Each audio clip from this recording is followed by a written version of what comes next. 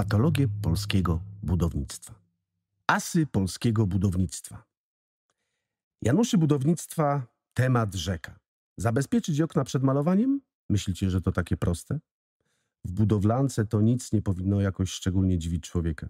Kiedy trzeba było zabezpieczyć okna przed malowaniem, bo malowanie miało odbyć się z agregatu malarskiego, to wujek kazał zakleić okna folią. Zadanie przypadło mi, Lejsowi i takiemu jednemu turbo. Biedny turbo nie od razu zaskoczył, co właściwie ma zrobić. Ale wujek wytłumaczył mu dość dosłownie, że ma zakleić folią i taśmą to, przez co się z mieszkania patrzy na świat. Zostawił mu kilka rolek taśmy, nożyk i folię. Turbo zabezpieczy piętro w godzinę. Turbo robi wszystko szybko i dlatego mówią turbo na turbo. Powiedział turbo i poszedł piętro wyżej. My z Lejsem zabezpieczaliśmy piętro trzecie. Gówniana robota, ale w sumie prosta. Trzeba było tylko dobrze odmierzyć folię i taśmę. Bo jak się za duże naddatki robiło, to wujki lubiło obciążać nas za zużycie materiału i karnie obcinać nam godziny. Wracając do turbo. Gość przyszedł po jakiejś godzinie do mnie i do Lejsa i chciał, żebyśmy mu oddali trochę folii i taśmy, bo zabezpieczył pół piętra i mu nie wystarczyło. Zdziwiliśmy się z Lejsem, jak to możliwe, bo myśmy mieli zabezpieczone dopiero dwa mieszkania, a turbo miał cztery i do tego w pojedynkę. Nie zgadzało się jedynie coś z materiałem, bo nam nie zeszła nawet jedna czwarta tego, co nam wujek zostawił. A turbo wyrobił wszystko. Poszliśmy więc z Lejsem na piętro turbo, bo byliśmy ciekawi, co pajac odwalił. Bo już można było sądzić, że jest coś nie tak, tylko zastanawialiśmy się, co tym razem. No i kumajcie, co się okazało. Turbo, ten as budowlanki, mając zakleić okna przed malowaniem, nie do końca był w stanie zrozumieć polecenie. Trzy razy pytał wujka, jak to okna mam zabezpieczyć? Więc mu wujek dość dosadnie wytłumaczył, że ma zabezpieczyć to, przez co patrzy z mieszkania na świat. No i co zrobił Turbo? Turbo zakleił same szyby.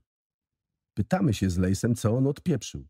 A Turbo, widząc, że chyba coś jest nie tak, zaczął machać rękami i skakać po całym pokoju, krzycząc Miałem zakleić to, przez co patrzę z mieszkania na świat. Ja patrzę przez to, a nie przez to.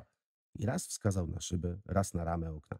Przez ramę nie patrzę, przez klamkę też nie. A zabezpieczyć miałem to, przez co patrzę. Wyście pewnie zjebali i zakleili wszystko jak leci. Powiedział Turbo i nawet się trochę uspokoił. I zaśmiał się takim demonicznym śmiechem.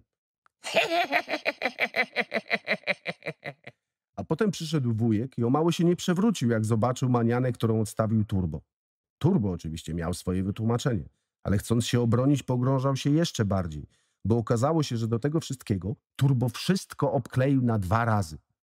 Bardzo chciał się wykazać, więc zrobił szybko i solidnie. Ale jak wujek jeszcze bardziej go za to zjebał, to Turbo zaczął się bronić, że tym ostatecznie zrobił dwa razy więcej niż ja z Lejsem we dwóch, więc chyba ostatecznie to on jest lepszym pracownikiem. Ale wujek i ten argument obalił, bo powiedział, że gdyby tak szybko nie zasuwał, to może miałby czas, żeby choć chwilę pomyśleć i nie zmarnować tyle materiału. Tak czy owak wyleciał tego dnia turbo z naszej ekipy. I chyba obcięte zostały mu też wszystkie godziny z całego tygodnia. Nam obciął standardowo po dwie, jak za każdym razem nawet nie powiedział za co. Powinniście wiedzieć, burknął. I pojechał rozliczyć chłopaków na innej budowie. Turbo spotkaliśmy jeszcze na kilku innych budowach. Na jednej darł się na kierownika budowy i kazał mu wypierdalać. I powiedział, że obcina mu wszystkie godziny. Darł ryja i prawie by tego kierownika pobił, gdyby akurat nie wszedł inny kierownik i razem z inspektorem nie wywalili turbo z baraku. Ten próbował wrócić przez okno i darł się cały czas, że na budowie jest burdel, a kierownik w baraku się zamknął. Turbo rąbał pięścią we wszystkie okna dookoła baraku i zwalniał z pracy wszystkich będących w baraku kierowników i inspektora. Przestał dopiero, kiedy policja przyjechała. Chociaż z nimi też próbował dyskutować i kazał im zabrać kierownika do więzienia, inspektora do psychiatryka, a BHP-owca do izby wytrzeźwień. Ale ostatecznie to właśnie turbo gdzieś wywieźli. Okazało się potem, że cała inba polegała na tym, że jacyś starzyści z Polibudy wkręcili Turbo, że jest dyrektorem strategicznym budowy. No i Turbo się poczuł i podszedł do sprawy dość poważnie. Turbo robił solidnie i szybko. I takim też był dyrektorem. Nie było tygodnia, a czasami nawet dnia, żeby się podobna inba nie odbyła na budowie. Jak widzicie, nic nie powinno jakoś mocno człowieka na budowie zadziwić, ale zdarzały się sprawki, które dawały mocno do myślenia, co autor miał na myśli. Na przykład obsrane skarpetki. To, że komuś pociekło po nodze, To jeszcze nic tak bardzo dziwnego, zwłaszcza w poniedziałek, jak połowa budowy jest na kacu, a druga połowa jest jeszcze pijana. Poniedziałki były najbardziej zwyrodniałymi dniami na budowie. No i piątki, bo w piątki często były rozliczenia, a jak rozliczenia, to i niezłe kłótnie, czy nawet bójki. Ale żeby obsrane skarpetki i gacie wokół budowlanych kibli, czyli tak zwanych tojek rozrzucać, było to naprawdę zagadkowe. No i jeszcze jedno. Dlaczego te gacie umorusane były w miejscu jaj, a skarpetki na piętach? I to jest właśnie budowlana zagadka. A więc słuchajcie, bo udało mi się ją rozwiązać. Nastał kolejny zjebany poniedziałek w budowlance. Wszyscy zmarnowani, wszyscy spóźnieni, wszyscy się snują tylko po budowie i udają, że coś robią.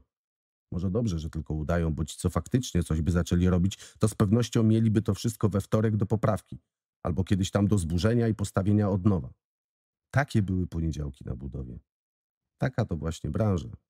A ja czekam sobie pod budowlanym straczem na swoją kolej. W środku jakiś majster się właśnie wysrywa, choć przez chwilę miałem co do tego niemałe wątpliwości. Facet tkwił tam i okropnie jęczał i wzdychał. Pewnym momencie pomyślałem, że ktoś tam umiera albo rodzi obcego klatką piersiową.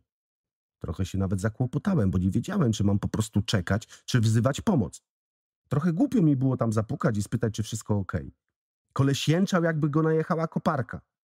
Rubacha takiego jednego majstra kiedyś najechała i tak właśnie jęczał, zanim go nie wynieśli poza teren budowy, żeby tam mogła przyjechać po niego karetka. Nie wiedziałem, co mam robić. Nie wiedziałem, że zwykłe sranie może powodować taki ból dupy, czy cholera wie co, że gość w środku tak cierpiał. A potem słyszę, jak drze ryja i napieprza pięścią w ścianę plastikowego toja. Kurwa, skurwysyny jelitowe, kurwa, jebany kierownik budowy, jebany kierownik, kurwa, i ta cipa z biura pizda jedna pierdolona w dupę, że zwierza budowa, kołchos jebany, kurwa, cwele do dupy zajebane, jedne, kurwa, zajebana pierdolona w dupę, świńska dupa mać. Wylał się potok potocznie uznawanych za wulgarne słów i nastała chwila ciszy. Pomyślałem wtedy, że gość właśnie umarł, a tymi słowami wyzionął ducha, kończąc swoje ziemskie życie. Ale po chwili coś jednak dało się słyszeć z tego toja. Usłyszałem ciche szuranie, a potem wyszedł majster. Tyle tam szlugów spalił, o tym jeszcze to inna historia z tym paleniem w kiblach, że wiatr musiał rozwiać to wszystko, zanim go dobrze zobaczyłem. I co trzyma w rękach? Zasrane gacie w jednej, zasraną skarpetkę w drugiej. Na nodze miał już tylko jedną skarpetkę. Szluga daj młody, powiedział. A ja mu podałem. Spróbuj majstrowi odmówić. A on upuścił te gacie na ziemię i tą łapą, co obsrane gacie przed chwilą w niej trzymał, zaczął gmerać w mojej paczce z moimi petami. Odpaliłem mu peta, żeby nie dawać mu do łapska zapalniczki. A potem on wtedy powiedział, Papieru, kurwa, nie ma. kierowniczki. I cisnął tą obsraną skarpetę w kierunku biura budowy. Patrzyłem, jak odchodził, jak gdyby nigdy nic. Nawet się jakby woził. Łeb w górę i szedł takim pewnym krokiem, jak jakiś zwycięzca. Jestem zajebisty, wszystko jest cacy. Tylko co jakiś czas po dupie się drapał. Potem zniknął gdzieś za rogiem budynku A. Ale po drodze jeszcze przywitał się z jakimiś dwoma ziomami. Ścisnęli sobie grabę i każdy poszedł w innym kierunku. A ja poszedłem się odlać do tego kibla po nim. Nasrane, najarane, że zaciągnąłem koszulkę aż po nos i wstrzymałem oddech. Lałem na ten plastikowy pisuar, a nad nim widniał napis. Kibel to nie raj, więc nie wal tu konia, tylko sraj i szybko wypierdalaj. A poniżej stołówka majstrów z Maxi Polbudeksu. Normalnie XD. I wiedziałem, że będę musiał jakoś zhandlować te szlugi, co mi w nich majster z kibla grzebał. Ale miałem na to pomysł, bo na budowie pracował taki jeden sznytek. Wszystko by za papierosa zrobił. Ale o sznytku to może następnym razem.